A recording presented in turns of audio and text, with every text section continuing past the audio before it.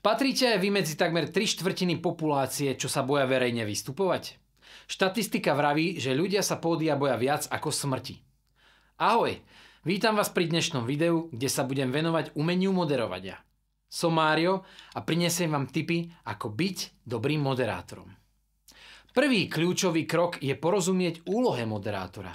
Moderátor nie je iba rečník, ale taktiež riadi a udržiava plynulý priebeh udalostí. Mnoho účastníkov podujatí považuje kvalitu moderovania za rozhodujúci faktor ich spokojnosti. Ovplyvňuje to totiž nielen celkovú atmosféru, ale aj náladu, akú pociťujú účastníci. Dôležitá časť moderátorského umenia spočíva v kontakte s účastníkmi. Keď prídem na akciu ja, snažím sa porozprávať s ľuďmi, aby som zistil, čo ich zaujíma a následne sa snažím zapojiť to do deja, aby sa cítili s účasťou podujatia.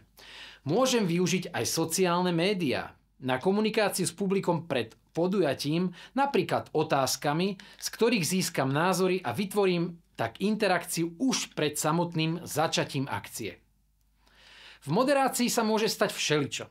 Treba byť pripravený a reagovať na neočakávané situácie s pokojom a profesionalitou.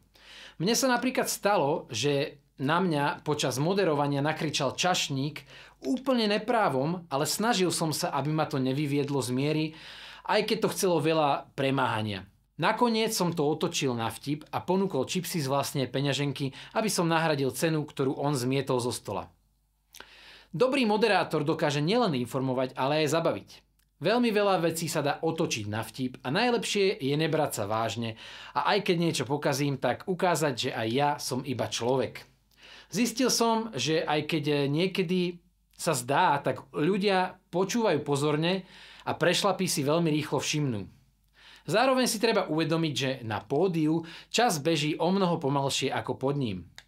Ja som tu, potím sa pred kamerou a dávam pozor na pauzy, vetách, dôrazy, interpunkčné znamienka, aby ste mali čas spracovať moje zdelenie. Avšak pre vás beží môj prejav normálnou rýchlosťou. Napríklad bodka za vetou by mala trvať okolo 3 sekúnd. Je to priveľa?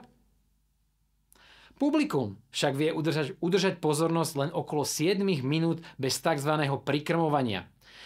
To je ešte menej, keď to neurobíte. To iba okolo 3 minút. Preto to teraz spravím.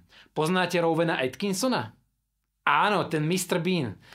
Viete, že aj on mal problémy s vystupovaním na verejnosti, preto robil všetky tie grimasy a sprvu eh, nemal ani žiadne texty taký napríklad Mahatma Gandhi, ten sa krvpočne učil to, tomuto umeniu, pretože vedel, že je to pre jeho vec nevyhnutné a musí to spraviť, ak majú nejaké veci sa zmeniť. Moderátor musí nájsť správnu rovnováhu medzi profesionalitou a priateľstvom. Je totiž náročné zároveň byť autoritatívny, no prístupný. Netreba ľudí odbiť, ale zároveň si treba udržať opraty v ruke, tak ako ja teraz a preto sa spolu posunieme na záver videa. Dúfam, že vám tieto tipy boli osožné a niektorým pomôžu stať sa lepším moderátorom. Pamätajte, že umenie moderovania sa zdokonaluje praxou, preto aj natáčam toto video. Ďakujem za sledovanie a teším sa na zajtrajšie video v rámci výzvy Ja versus kamera. Ahoj!